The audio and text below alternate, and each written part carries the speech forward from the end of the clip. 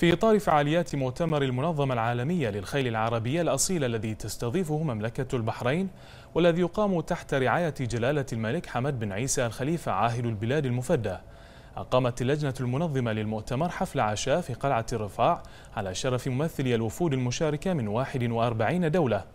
ورحب سمو الشيخ فيصل بن راشد آل خليفة رئيس الاتحاد الملكي البحريني للفروسية وسباقات القدرة نائب رئيس اللجنة المنظمة العليا لمؤتمر الواهو.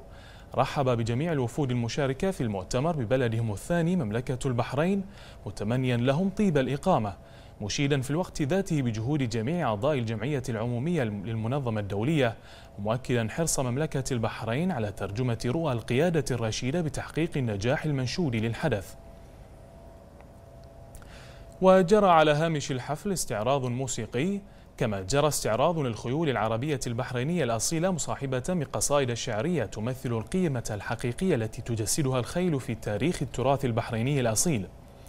وحرصت اللجنة المنظمة العليا للمؤتمر على إقامة الحفل في قلعة الرفاع وذلك في إطار استراتيجيتها باستقلال تواجد هذا الكم الكبير من الدول المشاركة للترويج لأبرز الأماكن التراثية في البحرين بالإضافة إلى الحرص على عكس الصورة التنظيمية المشرفة عن المملكة وإيمانا بأهمية إبراز أهم المعالم الأثرية والتراثية الوطنية. وعرب المشاركون عن عميق شكرهم للحفاوة البحرينية البالغة مقدرين دور سمو الشيخ عيسى بن سلمان الخليفة نجل سمو ولي العهد وتوجيهات التي ساهمت بتحقيق نجاح منقطع النظير للمؤتمر العالمي للخيل العربية الأصيلة.